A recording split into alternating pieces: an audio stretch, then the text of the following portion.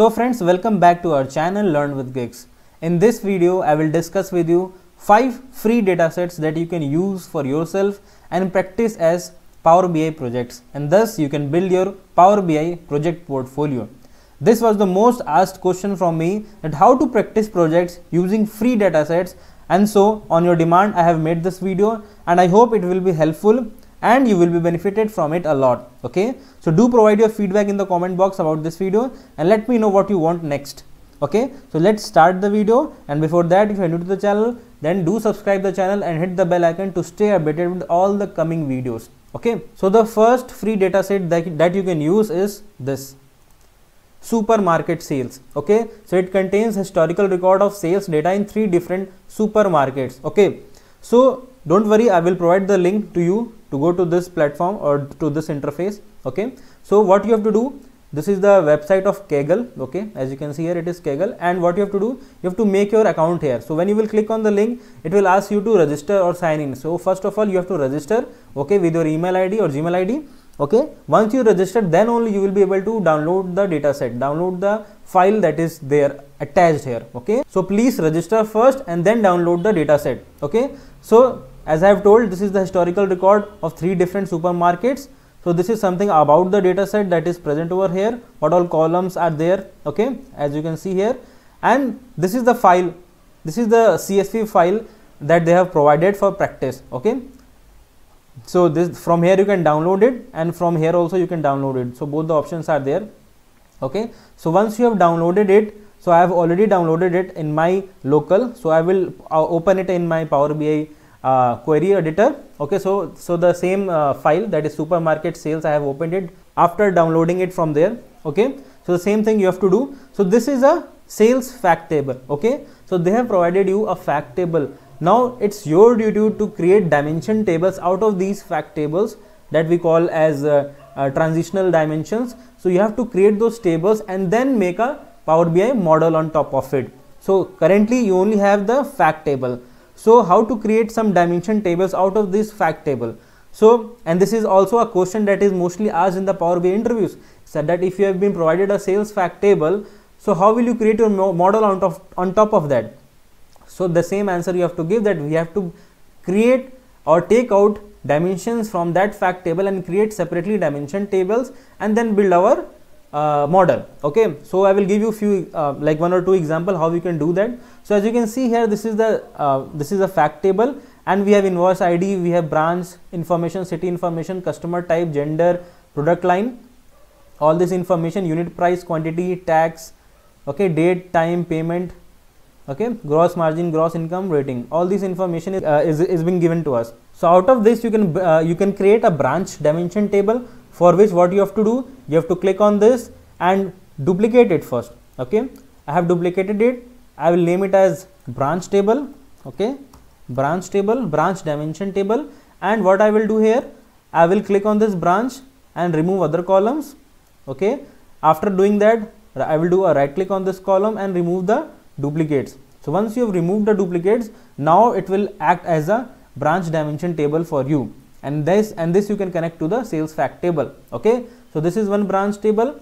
After that what you can do you can create a city information like the territory information territory dimension table.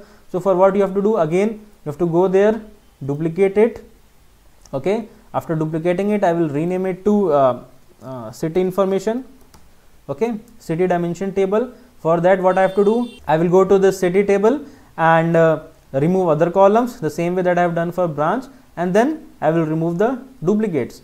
See, so three different uh, cities are there. Okay, so this is a, so this is your city dimension table. Okay, and this is our main sales fact table. I will rename it to sales.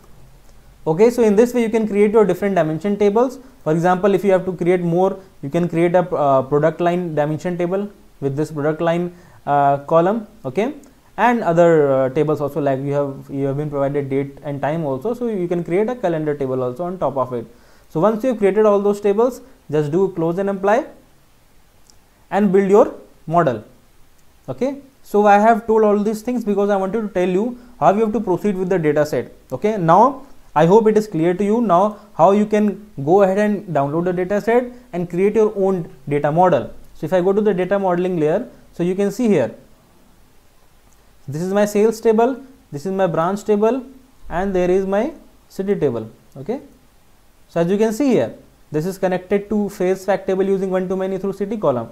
This is connected to sales fact table using branch column one to many okay? So one to many relationship is there okay? That is what is required. So in this way you will be having more dimensions and you will create your complete data model. And on top of this you can create your power bi reports. Whatever number of pages you want you can create it's your creativity on top of this data model. What all things you can do in your calculations what all dax measures what all dax functions you can use to create and visualize things on this using this free data set. So i hope this is clear to you how you can proceed with this data set. So this is the first free data set. Now moving on to the second one. So this is the walmart recruiting stores sales forecasting. So as you can see here you are provided with the historical sales data for 45 walmart stores located in different regions okay? And each store contains a number of departments and you are tasked with predicting the department wise wise sales for each store okay? So you will be provided with different csv files like store csv train csv test csv feature csv okay? So all those things you can download it. So all those things you can download it from here. See all the files are here. So download all. All the files will be downloaded. And upon your create creativity you can then create a report on top of it because they also have not provided the requirement. Okay so this is the second data set that you can uh, you should practice and build your and include it in your project power bi project portfolio. Okay now moving on to the next one. So this is the netflix movies and tv shows data set. Okay so here they will provide about the data set and here the most important thing is they have also provided what, what all interesting tasks or ideas that you have to do. So these are the four things that you can perform or you can create individual reports. Means you can create four pages in this report including all these interesting task ideas into those pages.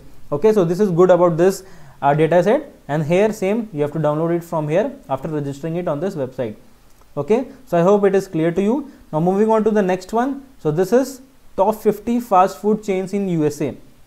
Okay, so this is the one that you should definitely practice it out. Okay, about the dataset it is clearly given here, and then you can download the file that is available here. Okay, you can download it from here and create your report on top of it. Okay, here also they don't have provided the uh, tasks that you should do, but yeah, if you have to practice it, you can download it and on top of it you can create the reports with your own creativity okay so this is the fourth one that you can practice. Now moving on to the fifth one. So this is real or fake jo job posting prediction data set. Okay. So this data set contains 18,000 job predictions out of which about 800 are fake. So this consists of both textual information and meta information about the jobs. Okay. So here also they have provided what all things you can do. Okay. So this is also very good about this data set. You know that you have to do these things in your pages in the report. You know that what all things you have to do in the report okay? So just download the data set from here and practice and create your own reports. See the data sets that i have discussed today. These are all different types different varieties of data sets. So if you will include two or three or all of these projects in your portfolio then your portfolio will be very good. And in the technical interview also you will be very confident about your preparation. I will provide the links of these five free data sets in my description box of this video so go and check out the link okay? And please share the video to all your friends and colleagues whoever are in need of this okay? Thank you